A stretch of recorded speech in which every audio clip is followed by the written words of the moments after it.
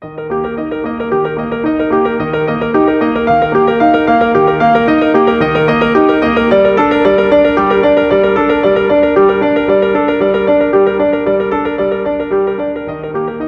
everybody, this is Seth. Uh, today I'm going to show you how to make special Spanish characters uh, in any kind of word processing program. This goes for Word or if you're doing stuff online.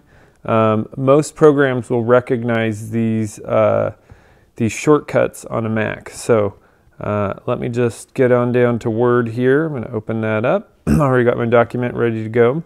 Uh, we're going to start by talking about how to make uh, accent marks over vowels. So um, accent marks will only go over vowels and they're pretty straightforward. You just hold down option, the shortcut is option E, and then I press the vowel that I want. So I'm gonna do A, and that gives me my vowel with an accent mark.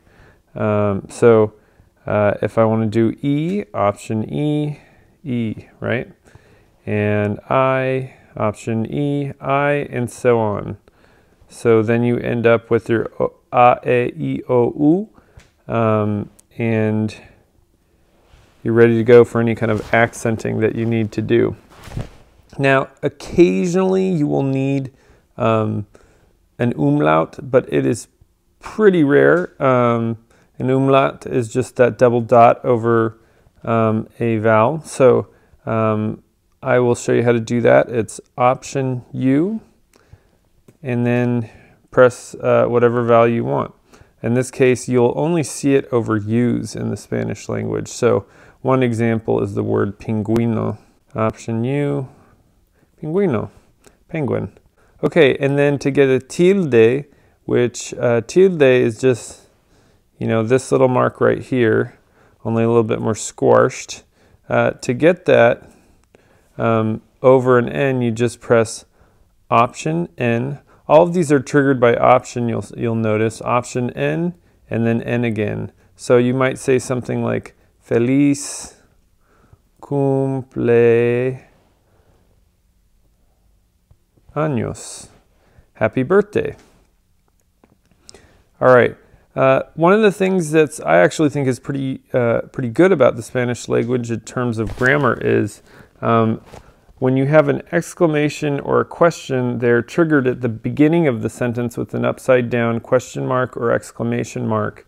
Uh, for me, that's really helpful because while I'm doing the reading, I can actually, I, I know what sort of inflection to use in, ahead of time inst instead of getting to the end of the sentence and realizing, oh, that was a question. I should have done it, you know, in, in a question inflection. So uh, in order to do that, uh, exclamation marks are just option uh, plus one, and that gives you an upside down um, exclamation mark. So you can say something like, Que padre.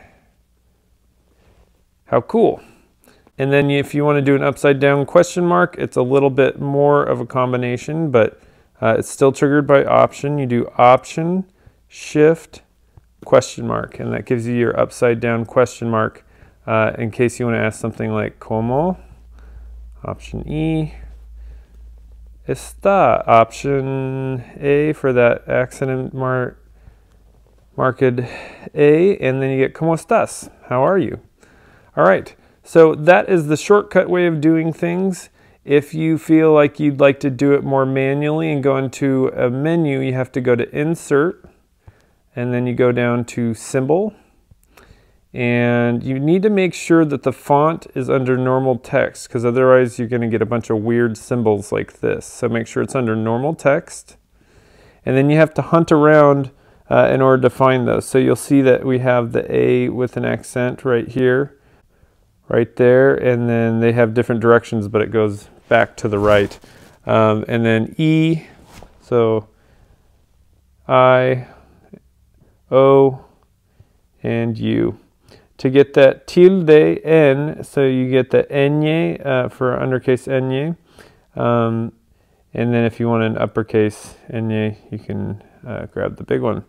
So moving down uh, to get that upside down question mark, you're going to just navigate over to here and same thing with exclamation mark. If you're interested in the keyboard sh shortcut, it'll tell you right here, option plus one, uh, which is what we just picked up. So I hope this was useful. Uh, this is also available in a Google Doc, which I will send to you guys. Have fun with it.